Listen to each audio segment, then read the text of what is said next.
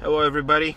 I am filming, starting this video at the end of the last one. It's kind of uh, in the same string, so as I was backing up, I was like, oh man, that's my town car back there. I am still in the Subaru, so we just, uh, we just got back from replacing brake pads and rotors. I probably won't post it at the same day as the other one. So, everything ended well. I am getting out, and the reason why I'm even filming this, or at least starting to film, is I noticed this car. And this car, on one side, is rather sad. On the other side, it's pretty awesome. And here it is a Ford Crown Victoria that's been kind of modified. I can't say I love how it was modified, but nonetheless, I do appreciate the fact that it's a Crown Victoria and it's been modified with some weird skirts over fenders some aftermarket looking rims. It's got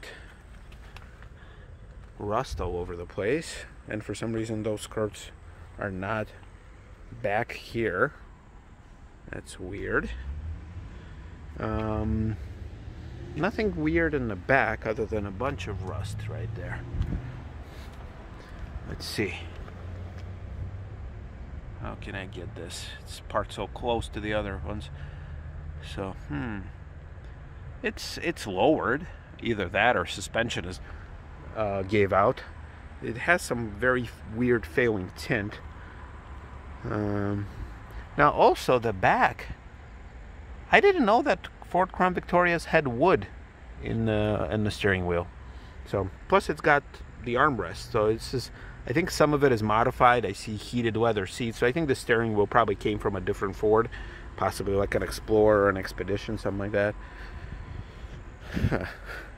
yeah, I don't know. I don't know what this person is thinking, but it, obviously it's their car. It's the, I'm in no position to tell them what to do. Yeah, rust is, is crazy in here. I thought I had rust. No, this rust is way worse. Failing paint. It has leather, so I wonder if it's uh, stock leather or is it aftermarket. It's also, this looks like a former cab because front bumpers are black and yellow, so there's some yellow stuff coming up. Yeah, so I have a feeling that the steering wheel is not exactly. Although it does have fog lights, so maybe this is like a former LX type of deal. And they just swapped the steering wheel. Oh yeah, let me know. Did uh, did Crown Victorias ever had wood on the steering wheel? I don't think so, but I'm not an expert. There's actually no badges back here at all, so I don't know what kind of Crown Vic it is. It's got a spoiler, so maybe it is an LX, or maybe it's one of those weird ones like the Sport Edition. So anyway, now these days, if I see any kind of a interesting vehicle, first thing I do is I start filming it, and this is one of those days. Not too far away from it. Let me make my way to my car over here. There we go. Here it is. Did you miss me? Hmm. Looks much better, don't you think? When somebody actually takes care of their car. Oh, you know what? I'm going to use the keypad. I'm not going to tell you what the code is. Bam, right there. Whew. Yeah, so I don't know. Uh, they took the steering wheel from from somewhere. Oh, oh wow. It is a freaking thousand degrees in here. Whew. Let's get it going. And it says 92. September, for God's sakes. Ah, uh, you see. All right, well, so I'm just transferring from the Subaru, my wife's car, to a Lincoln.